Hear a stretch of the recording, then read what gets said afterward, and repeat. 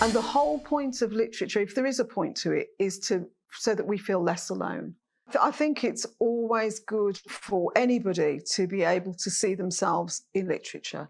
So um, if if you see somebody, I think we Adam and I were talking before, and I and Adam was saying that he misses certain things about being a doctor, and I think what he's done is made himself vulnerable. He said, "This was shit.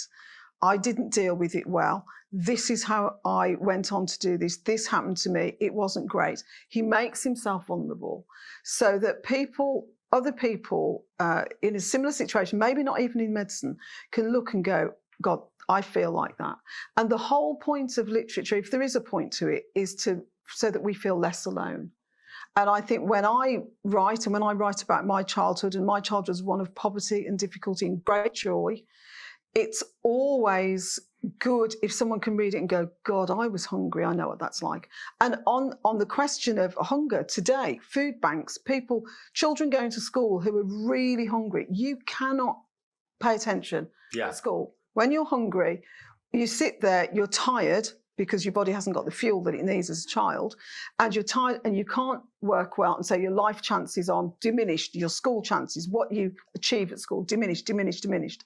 And so if, if a child or a parent or someone that's never experienced hunger can read that and go, God, so is there a child in my class that's hungry? And is that how it feels?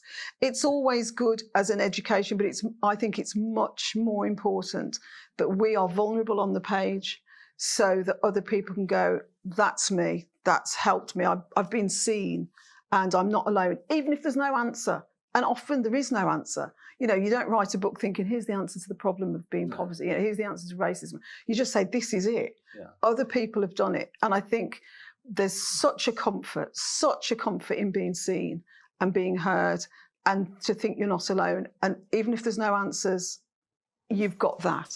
I'm not alone in the world. Thanks for watching that video.